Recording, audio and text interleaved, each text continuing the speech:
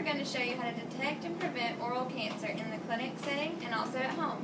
But before we start, we're going to let you know some important facts about oral cancer. 36,000 people are diagnosed with oral cancer each year, and about 7,900 will die from the disease.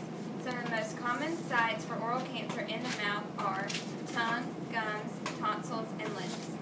Some of the risk factors include age, gender, tobacco, alcohol, HPV. With proper early detection, timely treatment, death from oral cancer could be greatly reduced. Information about prevention and detection can be found uh, in information packets in your local dental office as, as well as on cancer exam. Only takes a few minutes. It involves looking and palpating or feeling different areas of the mouth. If you're performing this at home, you, only, you will have to have a bright light and mirror nearby. While you're doing the oral cancer exam, you should be on the lookout for white and red patches on tissue, swollen tissue, color change in tissue, lumps, chronic sore throat, and difficulty in chewing or swallowing. The extraoral and intra-oral examination. We'll start with the extraoral examination. We're going to start with the submental, which is under the chin. We'll be using our thumb and our index finger to palpate. As you're palpating, You'll be feeling for any tender or enlarged lymph nodes. After that, you'll go into the submandibular, which is alongside the underneath the jaw. So we'll start with the right side. So you will push the tissues over with one hand, and with the other hand, you will actually cuff and roll the tissues over the mandibular feeling for any tender or enlarged lymph nodes.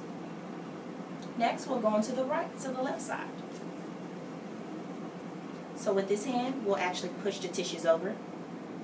And with the other hand, we'll actually cuff and roll the tissues over the mandibular. And remember, you can do all these steps at home. Next, we'll go to the um, parotid glands, which is between the ear and the jaw. So I'll be using circular compressions. Feeling for any bumpiness or any tenderness or pain that the patient could be feeling because it could be an indication of inflammation or cancer. Now, I'm going to go into the intraoral examination. Palpating the lower lip. As I'm palpating, I'm feeling this texture of granite.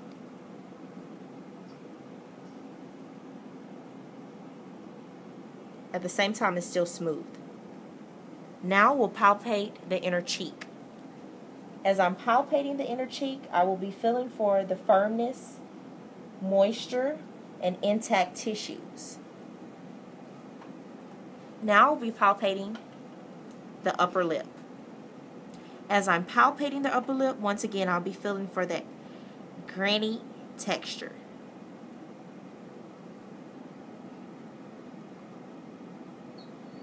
Okay?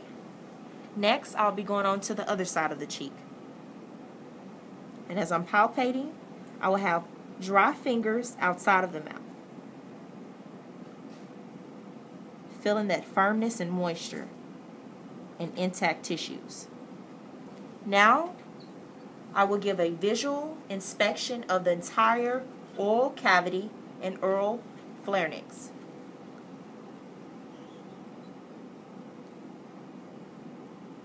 Make sure you have an adjusted, well-lit area. And you'll be looking for any herpetic lesions, any red or inflamed throat,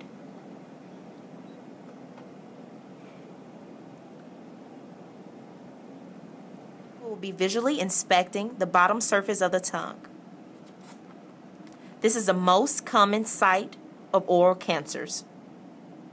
We'll be looking for the lingual veins that are distinct. Looking for any swelling, lesions, or ulcerations. Next, we'll be looking at the dorsal surface of the tongue, visually inspecting it. So you have the tongue protruded outside of the mouth,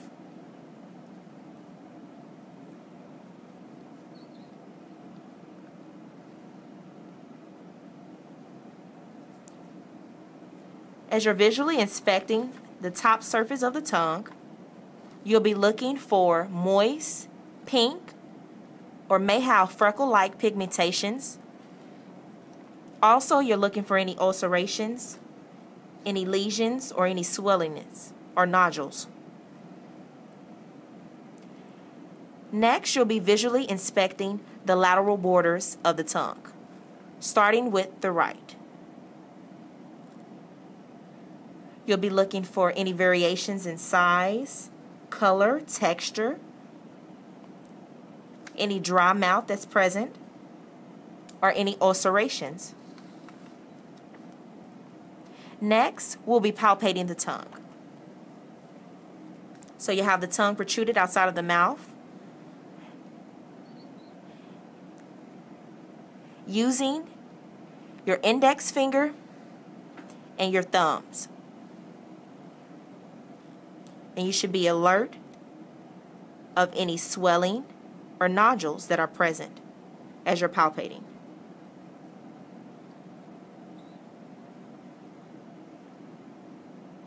Visually inspecting the hard and soft palate. For the hard palate, tissue should be firmly attached to bone and it should be a pale pink in color. Now we will palpate the hard and soft tissues.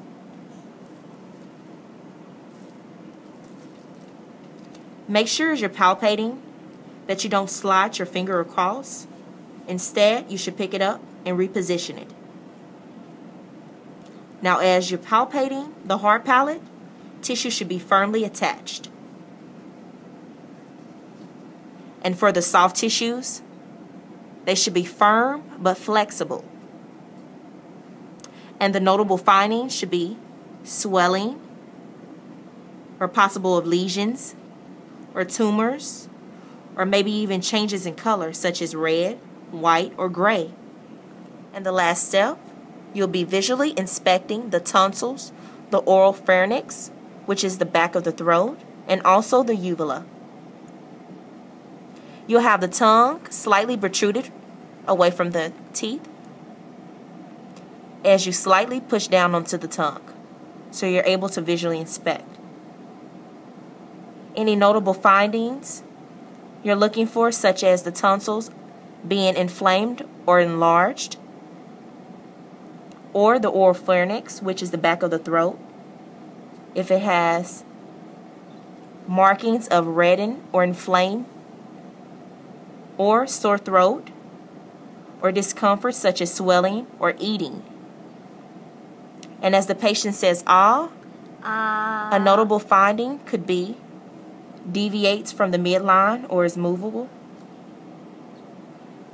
Includes our intraoral and extraoral examination. Lastly, we will show you some examples of some notable findings. Example is a white, red nodule lesion located on the left side of the mouth on the cheek tissue. This second example is a blue, raised, fluid-filled lesion located on the lower lip. This is a possible bulla avesicular. This third example is a blue patch lesion located on the tissue below the mandibular teeth.